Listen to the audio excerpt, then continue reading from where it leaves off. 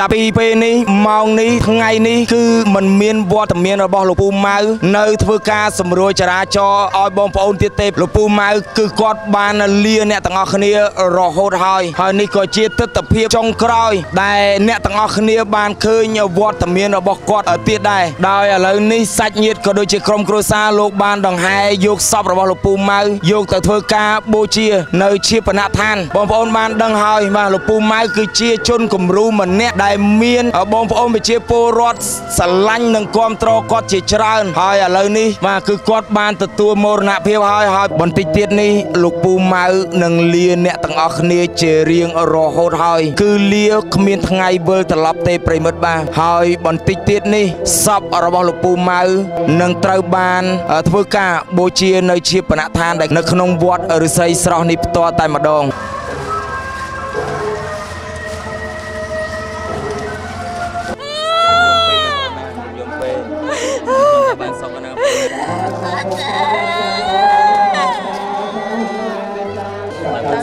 បាន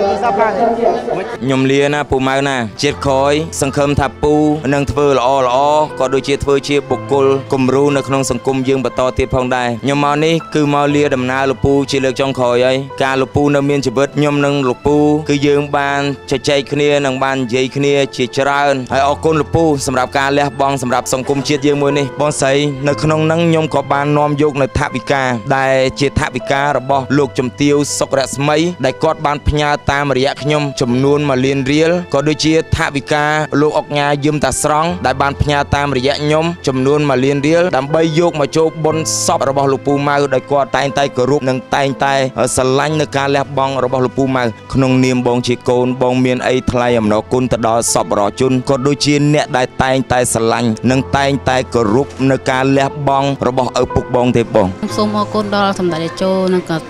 ជំលោកជំទាវកតេប្រពន្ធរីហ៊ុនសែនស្របរបស់ជនទាំងអស់និងលោកជំទាវសុករស្មីនិង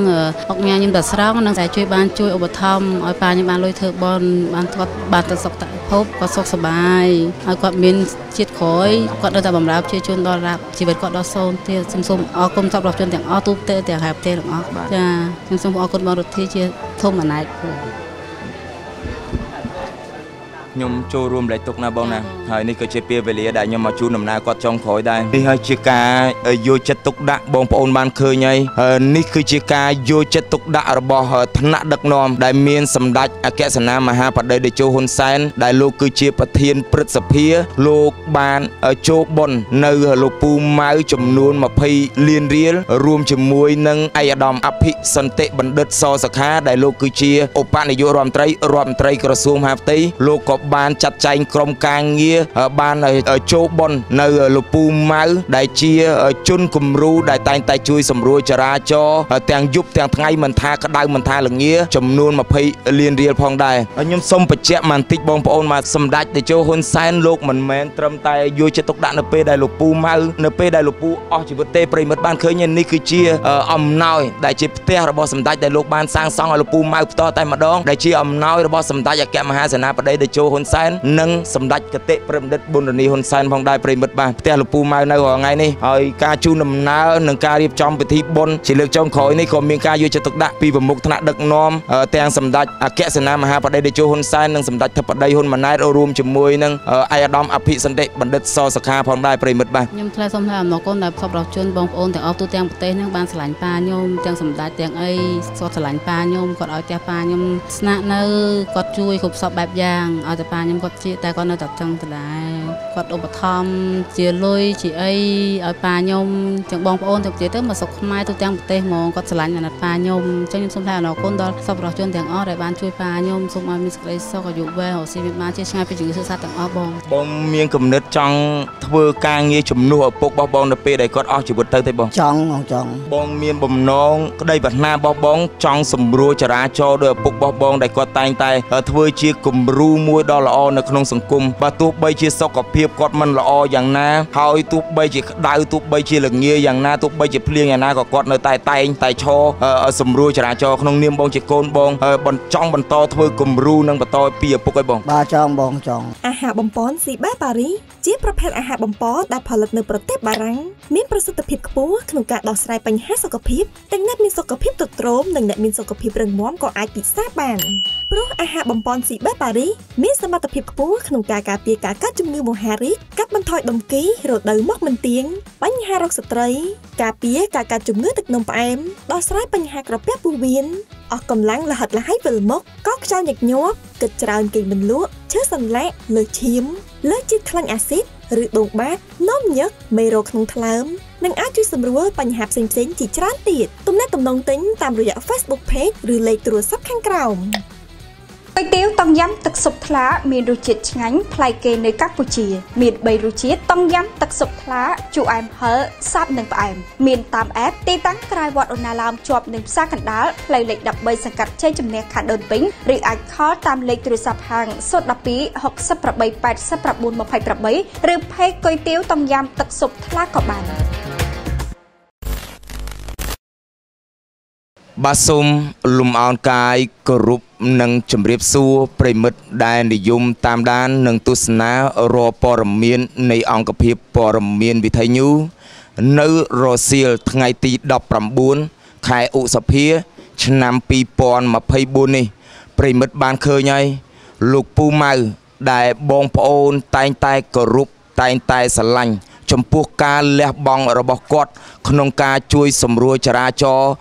ដល់បងប្អូនប្រជាពលរដ្ឋតាំងតែនៅមានជីវិតរហូតដល់អស់ជីវិតដោយអ្វីដែលគាត់ធ្លាប់សន្យា ថាបើជីវិតគាត់នៅតែមានគាត់នៅតែបន្តសម្រួលចរាចរណ៍ដល់បងប្អូនប្រជាពលរដ្ឋនៅក្នុងប្រទេសកម្ពុជារបស់យើង រហូតដល់ដង្ហើមចុងក្រោយរបស់គាត់ឥឡូវនេះពេលនេះម៉ោងនេះគឺអ្នកទាំងអស់គ្នាមិនបានជួបលោកពូម៉ៅទៀតទេ ក្រោយពីខ្ញុំបានធ្វើការផ្សព្វផ្សាយពីទស្សនភាពនៃពិធីបុណ្យរោងសពរបស់លោកពូម៉ៅដល់កំសត់កាលពីម្សិលមិញនេះឥឡូវនេះប្រិមិត្តបានឃើញរោងបុណ្យរបស់លោកពូម៉ៅក៏បានរៀបចំ ហើយពិធីដង្ហែបុណ្យសពរបស់លោកពូម៉ៅក៏នឹងធ្វើការដង្ហែបន្តិចទៀតនេះ ដើម្បីយកទៅធ្វើការបូជានៅក្នុងវត្តផងដែរ ចឹងចាប់ពីពេលនេះម៉ោងនេះมันមានវត្តមានរបស់លោកពូម៉ៅក្នុងការជួយសម្រួលចរាចរណ៍ដល់បងប្អូនប្រជាពលរដ្ឋដែលតែងតែធ្វើដំណើរឆ្លងកាត់ផ្លូវជាតិលេខ2ក៏ដូចជាឆ្លងកាត់ផ្លូវជាតិលេខ1ទៅទេនេះគឺជាពេលវេលាចុងក្រោយដែលអ្នកទាំងអស់គ្នាអាចលាដំណើរលោកពូម៉ៅបាទបងស្រីជំរាបសួរបងអឺ ខ្ញុំមានតែពាក្យថាក្រៀមក្រំក៏ដូចជាមកចូលរួមលែកទុកនៅក្នុងនឹងខ្ញុំសូមចូលរួមលែកទុកណាបងណាហើយនេះក៏ជាការដែលខ្ញុំមកលាដំណើរចុងក្រោយរបស់លោកពូម៉ៅដែលគាត់ជាមួយនឹងខ្ញុំបងស្រីបានដឹងហើយយើងមានមនោសញ្ចេតនាតាំងពីគាត់នៅមានជីវិតរហូតមកដល់ពេលនេះជាចុងក្រោយខ្ញុំសូមចូលរួមលែកទុកនិងសូមជូនវិញ្ញាណក្ខន្ធដល់លោកពូម៉ៅឲ្យគាត់ទៅកាន់សុគតិភពណាបងណា បងស្រីនៅក្នុងនឹងខ្ញុំក៏បាននាំយកនៅថវិកាដែលជាថវិការបស់លោកជំទាវសុករស្មី ដែលគាត់បានផ្ញើតាមរយៈខ្ញុំ ចំនួន1លានរៀលក៏ដូចជាថវិកាលោកអុកញ៉ាយឹមតាស្រង់ដែលបានផ្ញើតាមរយៈខ្ញុំចំនួន1លានរៀលដើម្បីយកមកចូលបុណ្យសពរបស់លោកពូម៉ៅដោយគាត់តែងតែគោរពនិងតែងតែស្រឡាញ់នៅការលះបង់របស់លោកពូម៉ៅបងស្រីជា ការជូនដំណើរចុងក្រោយរបស់លោកពូម៉ៅនេះក្នុងនាមបងជាកូនបងមានអីថ្លៃអំណរគុណទៅដល់សពរជនក៏ដូចជាអ្នកដែលតែងតែស្រឡាញ់និងតែងតែគោរពនៅការលះបង់របស់ឪពុកបងទេបងខ្ញុំសូមអរគុណដល់ស្របប្រជាជនទាំងអស់និងលោកជំទាវសុករស្មីនិងអុកញ៉ាញឹមតាស្រង់និងសម្ដេចតេជោនិងក៏ចំលោកជំទាវកតេប្រពុទ្ធរីហ៊ុនសែនដែលជួយបានជួយឧបត្ថម្ភឲ្យប៉ាខ្ញុំបានលុយធ្វើបនបានគាត់បានទៅសុខតភព គាត់សុខសប្បាយហើយគាត់មានជាតិក្រោយគាត់នៅតែបម្រើប្រជាជនដល់រាប់ជីវិតគាត់ដល់សូន្យទៀតខ្ញុំសូមអរគុណសម្រាប់ជនទាំងអស់ទូទៅទាំងហែប្រទេសទាំងអស់ចាខ្ញុំសូមអរគុណបងរដ្ឋាជាធំអណែតពួកខ្ញុំចូលរួមលេខទុកណាបងណាហើយនេះក៏ជាពេលវេលាដែលខ្ញុំមកជូនដំណើរគាត់ចុងក្រោយដែរ នៅក្នុងនឹងខ្ញុំក៏ឃើញឯកឧត្តមអភិសន្តិបណ្ឌិត លោកក៏បានចាត់ចែងអឺក្រុមការងាររបស់លោកមកចូលបុណ្យអឺពូម៉ៅដែរបងឯងចាចានេះហើយជាការយកចិត្តទុកដាក់បងប្អូនបានឃើញហើយហើយនេះគឺជាការយកចិត្តទុកដាក់របស់ថ្នាក់ដឹកនាំ ដែលមានសម្ដេចអគ្គសេនាមហាបតីតេជោហ៊ុនសែនដែលលោកគឺជាប្រធានព្រឹទ្ធសភាលោកបានចូលបុណ្យនៅលោកពូម៉ៅចំនួន20លានរៀល រួមជាមួយនឹងឯកឧត្តមអភិសន្តិបណ្ឌិតសសខាដែលលោកគឺជាឧបនាយករដ្ឋមន្ត្រីរដ្ឋមន្ត្រីក្រសួងមហាផ្ទៃលោកក៏បានចាត់ចែងក្រុមការងារបានចូលបននៅលពូម៉ៅដែលជាជនគំរូដែលតែងតែជួយសម្រួលចរាចរណ៍ទាំងយប់ទាំងថ្ងៃមិនថាក្តៅមិនថាល្ងាចំនួន20លានរៀលផងដែរអរគុណណាស់បងប្អូនសពរជនទាំងក្នុងនិងក្រៅប្រទេសក៏ដូចជាអរគុណដល់ថ្នាក់ដឹកនាំគ្រប់ជាន់ថ្នាក់ដែលលោកបានយកចិត្តទុកដាក់ក្នុងការរៀបចំជូនដំណើរក៏ដូចជារៀបចំនៅពិធីបុណ្យជូនដំណើរ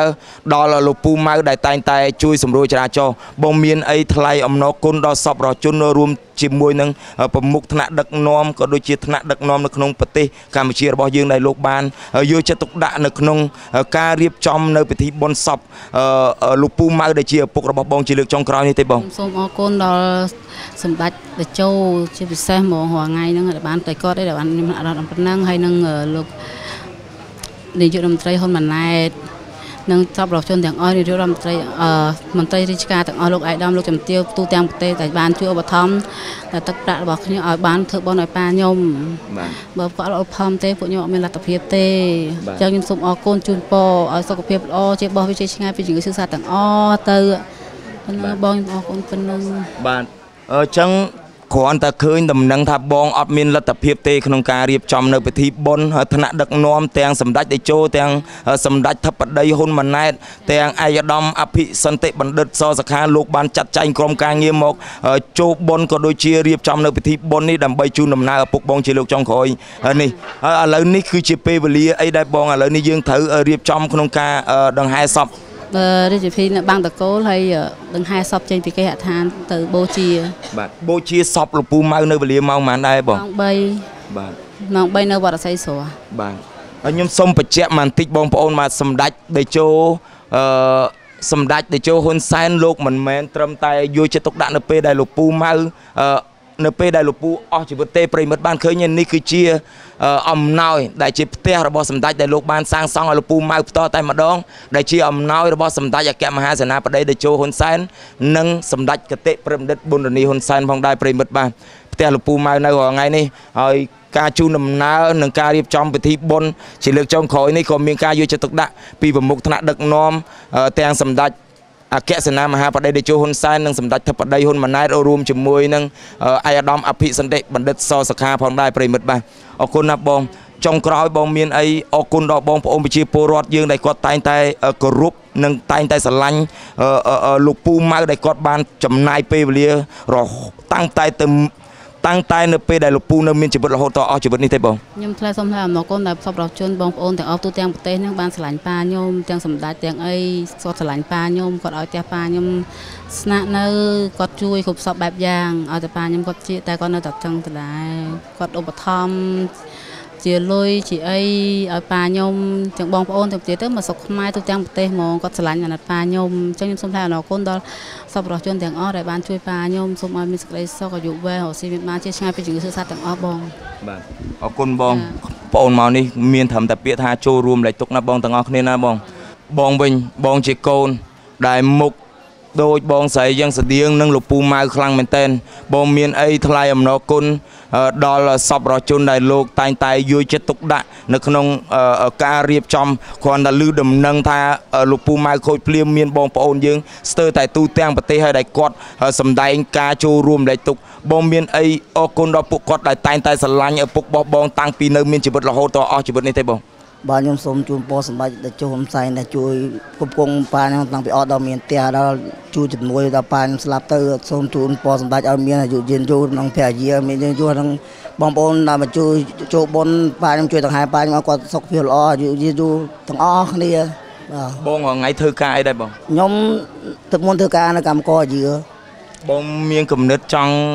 ធ្វើការងារជំនួសឪពុករបស់បងនៅពេលដែលគាត់អស់ជីវិតទៅទេបងចង់បងចង់ បងមានបំណងក្តីប្រាថ្នារបស់បង ចង់សម្រួលចរាចរណ៍ដោយឪពុករបស់បងដែលគាត់តែងតែ ធ្វើជាគំរូមួយដ៏ល្អនៅក្នុងសង្គមបើទោះបីជាសុខភាពគាត់មិនល្អយ៉ាងណា ហើយទោះបីជាក្តៅទោះបីជាល្ងាយ៉ាងណាទោះបីជាភ្លៀងយ៉ាងណាក៏គាត់នៅតែតែងតែឈរសម្រួលចរាចរណ៍ក្នុងនាមបងជាកូនបងបន្តចង់បន្តធ្វើគំរូនិងបន្តពីឪពុកឲ្យបងបាទចង់បងចង់ បើចង់បងមានអីអឺអឺអាចជំរាបបន្តិចបានទេគោលបំណងបងអាចនឹងមើលទៅទៅជំនួសនៅកន្លែងឪពុកឬក៏យ៉ាងម៉េចដែរបងបាទប្រហែលជាទៅជំនួសកន្លែងពុកខ្ញុំបាទសូមអរគុណចឹងហេតុអីបានជាបងចង់បន្តការងារនឹងជំនួសឪពុកបងពីដើមមកគាត់ខ្ញុំឲ្យខ្ញុំធ្វើដែរតែខ្ញុំអត់ចង់ធ្វើចឹងដោយសារខ្ញុំមានគ្រួសារចឹងខ្ញុំបែកពីគាត់ខ្ញុំចិត្តថាដើរធ្វើការកម្មករគេឬមួយមុនរត់តុកតុកដែរតែរកបានខ្ញុំធ្វើកម្មករគេចឹងទៅហើយគាត់ចាអូសមកទៅខ្ញុំនៅខាងខេត្តដល់ឥឡូវខ្ញុំមកជួយជំនួសគាត់ ឥឡូវខ្ញុំចង់បន្តវិញពីគាត់ហ្នឹងនៅកន្លែងគាត់តែមានថាលោកអ៊ំអាបាខានហ្នឹង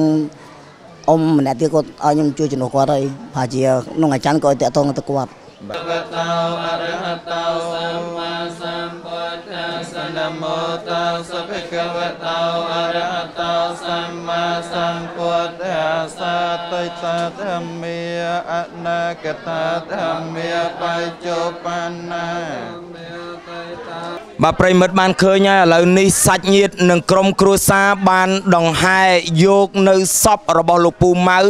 ដើម្បីយកទៅធ្វើការបូជានៅវត្តឫស្សីស្រស់ដោយអ្វីដែលលោកពូម៉ៅធ្លាប់បានសន្យាចឹងថាបើគាត់នៅមានជីវិតគាត់នឹងធ្វើការជួយសម្រួលចរាចរណ៍ដល់បងប្អូនប្រជាពលរដ្ឋរហូតដល់ដង្ហើមចុងក្រោយនៃជីវិតរបស់គាត់ឥឡូវនេះ លោកពូម៉ៅគឺគាត់បានលាអ្នកទាំងអស់គ្នារហូតហើយ ចាប់ពីពេលនេះម៉ោងនេះគឺมันមានវត្តមានលោកពូម៉ៅនៅធ្វើការសម្រួលចរាចរណ៍ឲ្យបងប្អូនទៀតទេប្រិមិត្តបាទហើយនេះក៏ជាទស្សនវិជ្ជាចុងក្រោយបាទដែលអ្នកទាំងអស់គ្នាបានឃើញវត្តមានរបស់គាត់ទៀតដែរគឺចាប់ពីពេលនេះម៉ោងនេះវេលានេះ គឺมันមានវត្តមានលោកពូម៉ៅក្នុងការជួយសម្រួលចរាចរណ៍ដល់បងប្អូនប្រជាពលរដ្ឋទៀតទេបងប្អូនបានដឹងហើយបាទលោកពូម៉ៅគឺជាជនគំរូម្នាក់ដែលមានបងប្អូនប្រជាពលរដ្ឋស្រឡាញ់និងគាំទ្រគាត់ជាច្រើន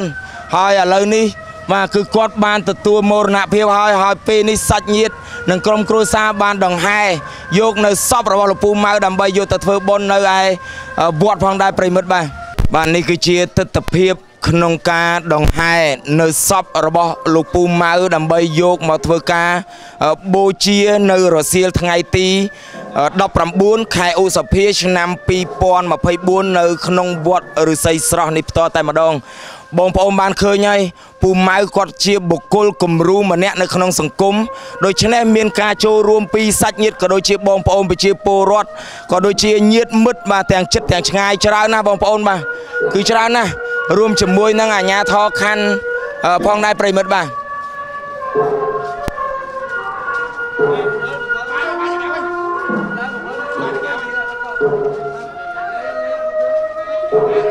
បាទប្រិមិត្តបានឃើញឥឡូវនេះសពរបស់លោកពូម៉ៅត្រូវបានសាច់ញាតិក៏ដូចជាក្រុមគ្រួសារបានដង្ហែយកមកដល់ជាបណដ្ឋាន ដែលនៅក្នុងវត្តឫស្សីស្រស់ផ្ទាល់តែម្ដង បន្តិចទៀតនេះលោកពូម៉ៅនឹងលាអ្នកទាំងអស់គ្នាជារៀងរហូតហើយ គឺលាគ្មានថ្ងៃវិលត្រឡប់ទេប្រិមិត្តបាទហើយបន្តិចទៀតនេះសពរបស់លោកពូម៉ៅនឹងត្រូវបាន ធ្វើការបូជានៅជាបណដ្ឋានដែលក្នុងនៅក្នុងវត្តឫស្សីស្រស់នេះផ្ទាល់តែម្ដង បាទអរគុណប្រិមត្តសម្រាប់ការទស្សនានិងការតាមដាន នេះជាពេលវេលាចុងក្រោយ ដែលខ្ញុំបានមកជូន ដំណើរលោកពូម៉ៅមកដល់ជាបណដ្ឋានជាមួយនឹងសាច់ញាតិនិងក្រុមគ្រួសារហើយជាចុងក្រោយសូមអរគុណបងប្អូនប្រជាពលរដ្ឋក៏ដូចជាសពរដ្ឋជន ទាំងក្នុងនិងក្រៅប្រទេស ដែលតែងតែអាណិតនិងស្រឡាញ់នៅការលះបង់របស់លោកពូម៉ៅដោយលោកពូម៉ៅគាត់បានសន្យាជាមួយនឹងអ្នកទាំងអស់គ្នាចឹងគាត់នឹងធ្វើការសម្រួលចរាចរណ៍នៅតាមបណ្ដោយផ្លូវជាតិលេខ2រហូតដង្ហើមចុងក្រោយនៃជីវិតរបស់គាត់ផងដែរឥឡូវនេះជីវិតរបស់គាត់គឺត្រូវបានបញ្ចប់បាទហើយសាច់ញាតិក៏ដូចជាក្រុមគ្រួសារក៏បានរៀបចំធ្វើការធ្វើបុណ្យឲ្យគាត់រួចហើយហើយក៏ធ្វើការយកសពរបស់គាត់មកធ្វើការបូជា នៅក្នុងជាបណដ្ឋាននៅក្នុងវត្តឫស្សីស្រស់នេះផងដែរ